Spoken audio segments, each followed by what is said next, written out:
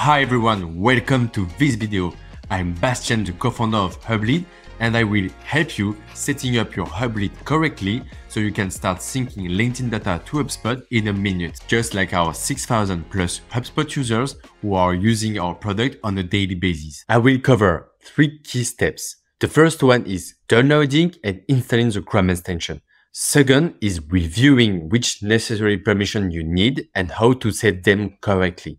And of course, the last one, troubleshooting common errors and see how to solve these kind of errors.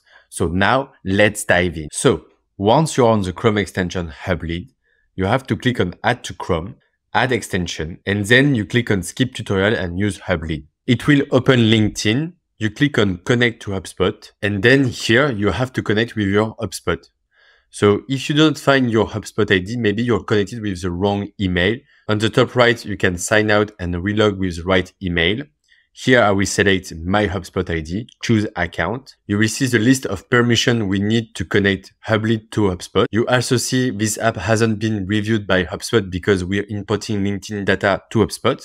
And here you can click on connect app. And now if you go to another LinkedIn profile, for example, you see the widget Hublead inside LinkedIn or LinkedIn Sales Navigator. So to be able to connect Hublead to HubSpot, you need the right permissions. You have two ways to do that. One way is to set your user as a super admin. They download the conversation, connect to your HubSpot, and then you can remove them as a super admin and it will work. Otherwise, you have to set the right permissions they need the right to create, edit, and delete contact at least they own, companies at least they own, and deals at least they own. They also need the permission to read and write lists, app marketplace access, and edit property settings.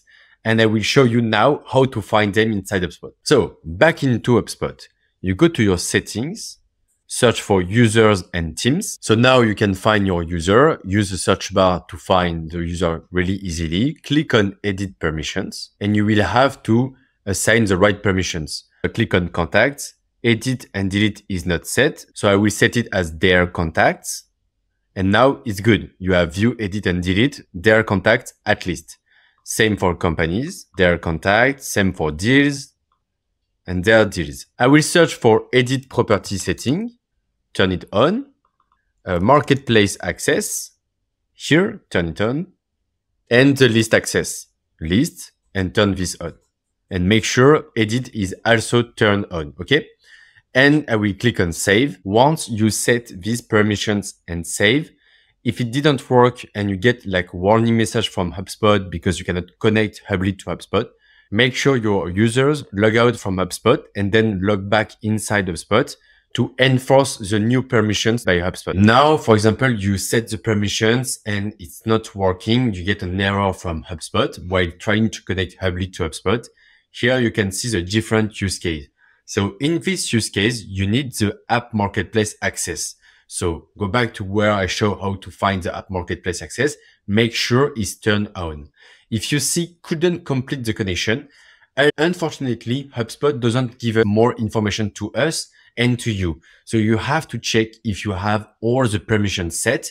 If you have all the permissions set, as I said just earlier, ask your salespeople to log out, then log back inside HubSpot to make sure the permissions have been updated. And if you get this kind of error message, I do recommend you to go to connected apps and then find Hublead and uninstall that. Also, make sure your Chrome is updated and the Chrome extension is the latest version.